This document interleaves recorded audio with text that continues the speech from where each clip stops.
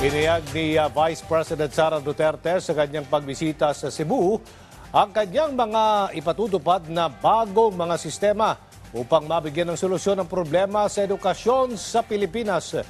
May ulat si Jesse Atienza ng PTV Cebu.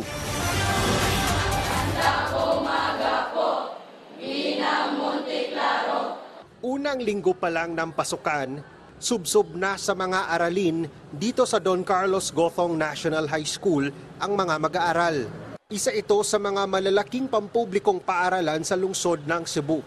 Pumalo na sa mahigit 4,000 ang mga nasa junior high at halos 2,000 naman sa senior high. Lahat pinagkakasya sa isang daan at labing limang silid-aralan.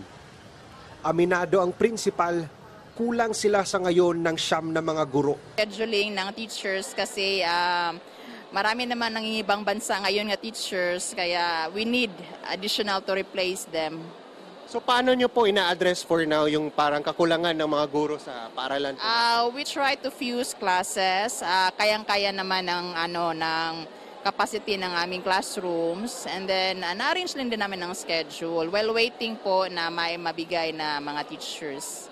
Sa pagbisita kamakailan ni Vice Presidente at Education Secretary Sara Duterte sa Cebu, inihayag niyang marami silang bagong ipapatupad sa sistema para masolusyonan ang mga problema sa edukasyon. we can easily solve the shortage of classrooms, teachers, and congestion sa mga classrooms nato with the blended learning program. So, sunod tuig, sunod school year, daghan kaayo ang mga i-implement Sa ngayon, tiis muna ang mga guro sa masikip nilang schedule sa pagtuturo habang hinihintay ang pagdating ng mga karagdagang guro na makakaagapay nila sa paghulma sa mga kabataan at sa kanilang mga pangarap.